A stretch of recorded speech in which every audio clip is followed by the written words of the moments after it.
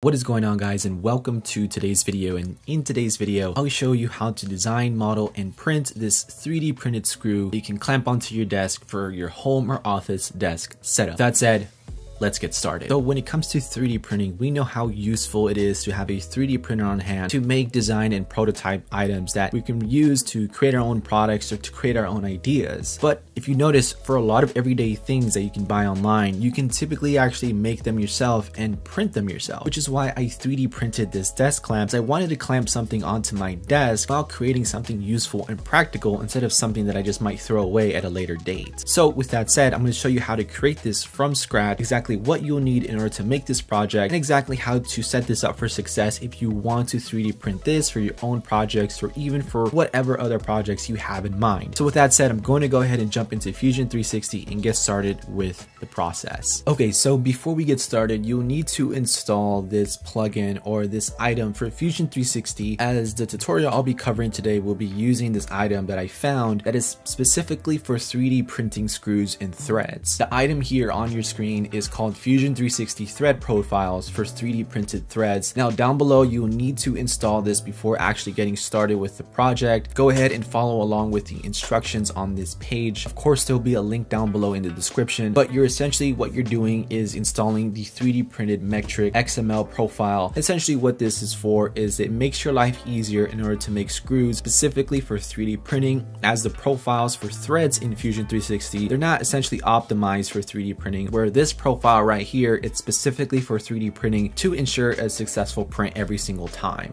So with that said, go ahead and install this into your Fusion 360 application and let's get started with the modeling process. Okay everyone, so I went ahead and opened up a blank canvas for Fusion 360 and I named this canvas as 3D printed desk clamp tutorial. So if you guys want to name it just like that, I would recommend you do so as it would help you reference this later on in the future if you decide to recreate this for your own personal projects. So the very first thing here is I'm going to create a new sketch and I'm going to sketch on this plane right here. Here I'm gonna reorient my view and now we're gonna select create rectangle three point rectangle.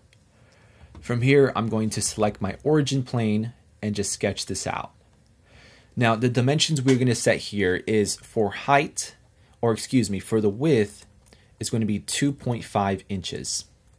For length is going to be 3 inches. And press enter.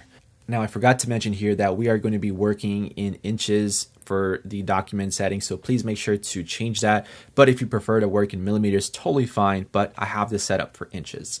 So we're going to create an offset. So I'm going to press O on my keyboard. From right here, I'm going to turn off chain selection and then I'm just going to select this line right here at the very top. From here, I'm going to create an offset of negative 0.5, or excuse me, 0.5, then press enter.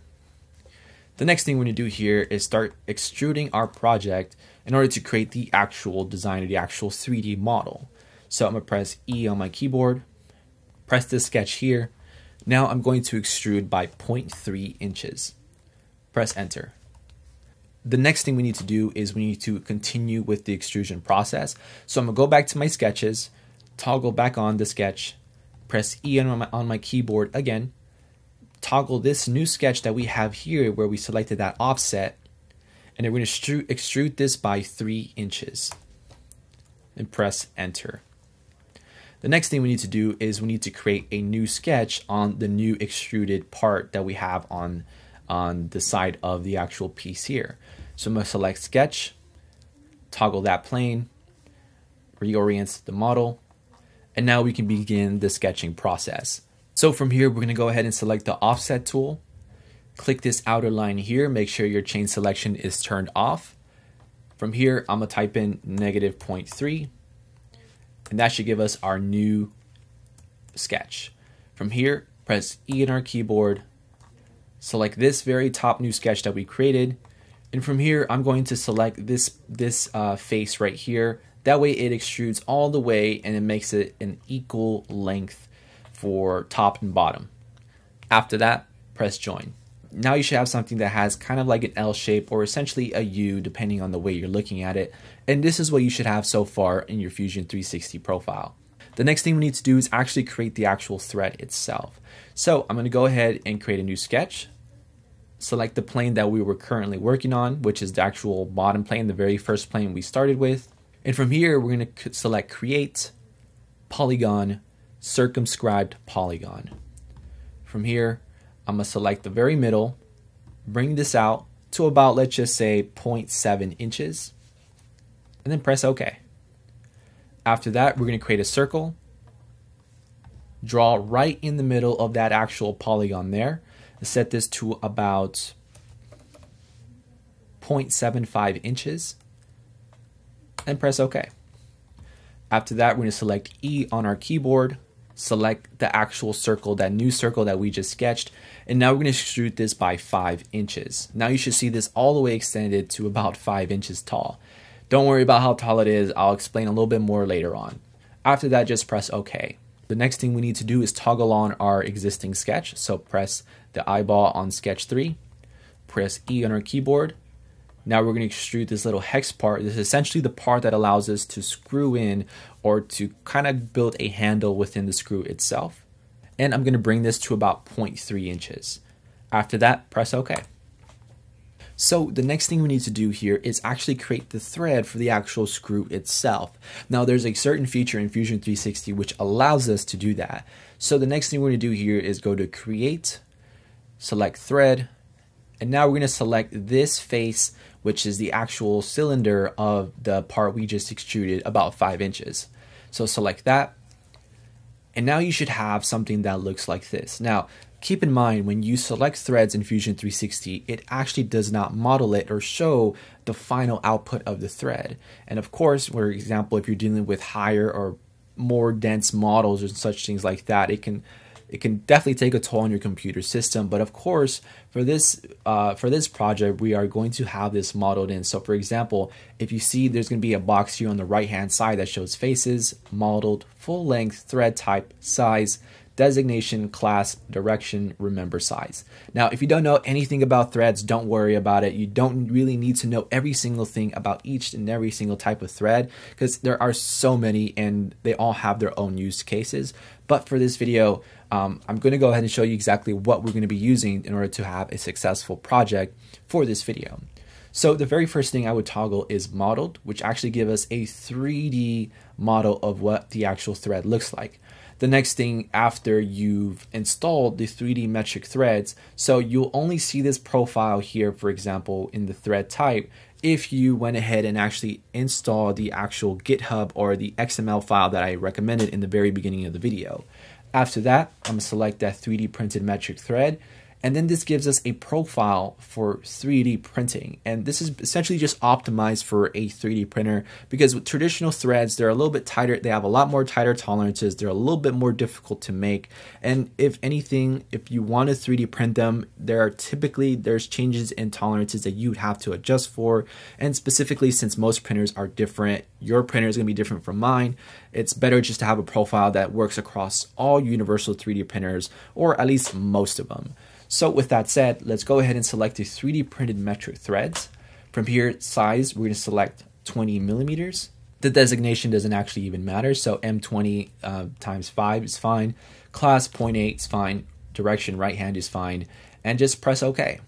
So now the next thing we need to do here is create some sort of stop and gap for this very top piece for the actual screw itself. Now the reason I say that is for example is that since we're going to be using this thread here on the left hand side, we are going to want this to screw into this desk clamp on the right hand side. But the problem is you won't just have this top screw just hitting this very top piece here as of course this could probably damage it and there's not enough surface area for it to actually clamp onto this piece that we have here or onto this face. So what we need to do here is we need to create another design here that allows us to actually clamp to the actual desk itself. So I'm gonna select my sketch. I'm gonna actually design on this top part here. Now from here, I'm going to select the center circle diameter. I'm gonna look for the very middle of this design here. So I'm gonna select right there. There's a little circle that pops up and I'm gonna just extend this out to let's just say about 1.5 inches.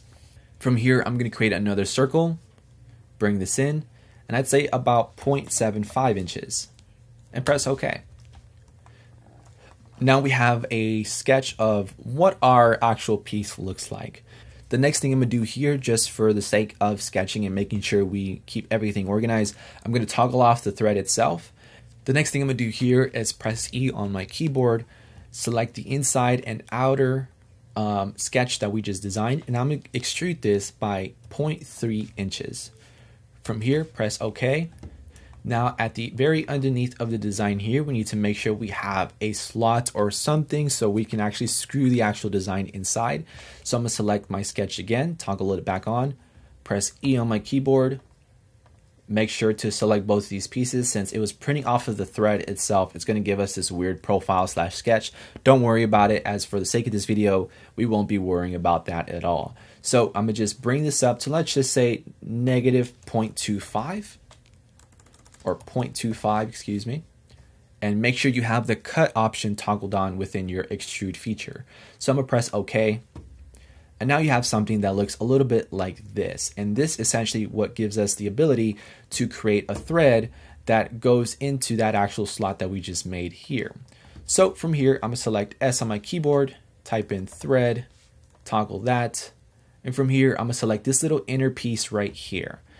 Then I'm select thread type, 3D printed screws, size 20 millimeters, modeled. Now press OK. Now we have what it looks like the inner workings of our actual cap. That way when we actually screw this into our actual desk clamp, it actually clamps onto the very top piece of our design, which is incredibly important.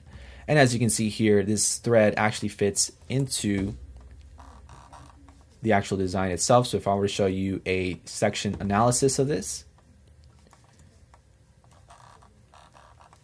you can kind of see that the thread if we were to thread it in the actual real life, for example, it would actually fit in here. Obviously, it doesn't look accurate on the model, but right now, since we're actually sketching and designing right now, it won't show up for us just yet. But assuming if you have both the threads correct, so for example, if you have a 20 millimeter size on the actual thread on the screw, and if you have a 20 millimeter size on the inside, then they should fit just fine, assuming you're using the 3D printed metric thread profile. So we pretty much have the screw process done. It's so simple and so easy that it literally takes us less than 20 minutes to do, probably even much more less time than that. The next thing we need to do is actually create the actual sketch for this part right here. So the very next thing we're going to do here is I'm going to use my section analysis tool. So I'm going to toggle off all the sketches, type in S, section analysis, toggle this on, and I'm select this top face right here. From here, I'm gonna just bring this down. That way I have a little bit more control when it comes to modeling this actual piece right here. Select my top view. And from here, we're gonna get started with another sketch. So I'm gonna select create sketch, toggle this face. And from here, I'm just gonna select center diameter circle. And from here, I'm gonna just select what looks like or what appears to be more on the middle, kind of on the left-hand side. So I'm gonna just select that right there type in 0.75 inches, and then press OK. From here, I'm to press E on my keyboard, extrude this down, opposite side, cut, and press OK. The next thing we're going to do here is press S on our keyboard, thread, select the inside of this face here, select 3D printed metric threads, modeled, Make sure the size is to 20 millimeters or it will not work. Then press OK. Now you have the inner workings of our actual thread here. So I toggled off the section analysis tool. Now you have a screw, uh, the screw here that allows us to screw this into the inside of the actual desk clamp itself, which is incredibly important.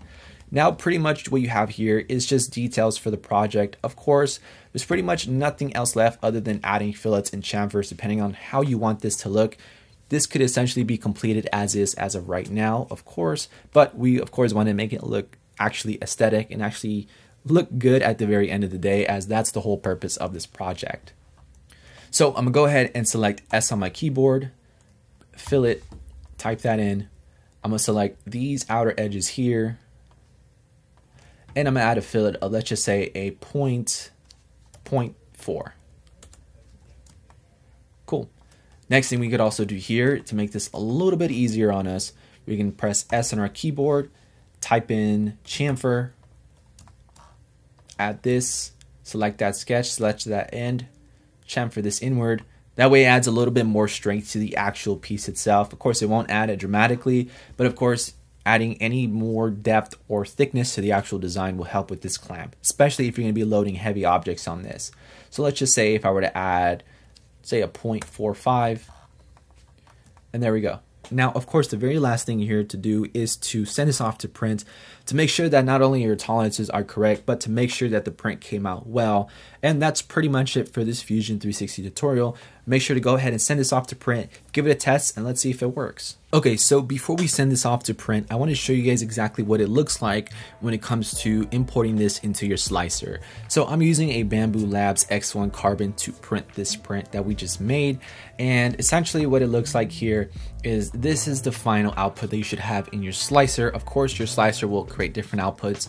Now I've enabled support using trees as I think this is the most efficient as I believe there is some slot here that has an overhang that could be a problem if we don't use it. So just for the sake of, I guess, safety or security or making sure that it prints well, um, I'm to go ahead and add tree support. But other than that, everything turned out fine. Now the only thing here as well is, uh, which is reference to the 3D printed threads that I mentioned earlier, you can see when it comes to 3D printing this actual thread, your 3D printer should have no problem printing this and if anything, it should be no issue. Of course, you can make this a little bit stronger with a higher amount of infill, let's just say maybe 25 or so. But of course, the more infill you have for this, eh, the stronger it will be, but it will take much more time. So just keep that in mind. So with that said, pretty much everything looks good on my end. I'm gonna go ahead and send this off to print and tell you guys what the results look like. Okay, so now the design has been printed on my Bambu Labs, it's time to give it a quick test. I took everything off the build plate and everything came out just as expected. The screw screws in perfectly, the cap screws in perfectly as well. And if I were to tighten the screw, it reaches all the way to the top of the clamp, giving it a nice little clamp to the actual top part. So if you were to put this on the desk, it screws in just nicely. The only thing here is that if you were to screw it in way too tight, the actual bottom piece does extend a little little bit. So that would be the only caveat here because of course it's not the same as a metal piece where a metal wouldn't actually bend like the ones you see on Amazon. But let's just imagine like if we were to move forward with a design like this, we add some sort of a cup or something to um, hold cups onto this onto the side like a mug, coffee or whatever that might be. Okay everyone, so I hope you guys had enjoyed this video. Let me know your guys' thoughts and opinions down below in the comment section. Let me know if there was something specific that you needed help with or maybe something that was a little bit confusing as I do plan to read these comments and to make adjustments or changes for future videos. So with that said, this is part one of creating this desk clamp. In, in the next video, I'll show you how to make this exact same desk clamp into an actual cup holder that you can use to hold essentially coffee, mugs, or anything of that nature for your desk and to actually build some sort of utility to this desk clamp itself. So with that said, this is Brandon signing out. If you guys enjoyed today's video, subscribe to the channel, like the video, comment down below your thoughts and opinions, and I look forward to see you guys in the next video. Peace.